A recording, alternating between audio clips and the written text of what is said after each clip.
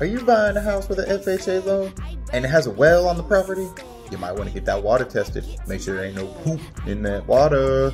Get that water tested.